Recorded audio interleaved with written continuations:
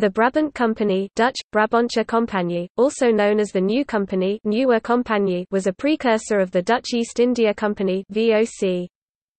The Brabantsche Company was set up in 1599, by Jacques de Velaer, Isaac Le Maire, Hans Hunger, Marcus de Vogelaer and Gerard Reynst. In 1600, the Brabantsche Company merged with the Compagnie van Verre to form the Verenigde Compagnie van Amsterdam. Finally this company and other companies in Rotterdam, West Friesland and Zeeland merged into the VOC in 1602.